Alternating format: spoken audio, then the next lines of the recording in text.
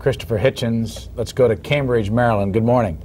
Good morning. Good morning. Thank you very much. Mr. Hitchens, I have three direct questions, short questions for you, please. Do you feel that Israel has a right to exist within secure borders? Do you feel that the United States should intervene should Iran or, and or Russia try to close the Straits of Hormuz? And would you seek relief from a 24-hour shoot-on-sight curfew from any quarter uh, in which relief might be found?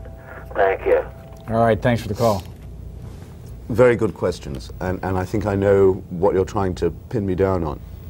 Uh, on the first, yes, I do, um, but I think the securely recognized borders should not allow for Israeli colonization or occupation of the territory of its neighbors, which is what it's doing now. The right to exist argument has been, um, has been used now to the point where what it's going to mean is that the Israel you're talking about will include the, uh, the annexed and illegally occupied West Bank.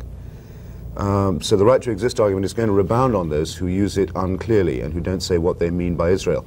It's very interesting, the Israeli um, government has never said uh, where it thinks the borders of Israel really ought to be and what it would settle for. I think it would be an immense help if Israel is going to insist on the right to exist, if it tells us where it thinks Israel's boundaries should be. Every other country does do that.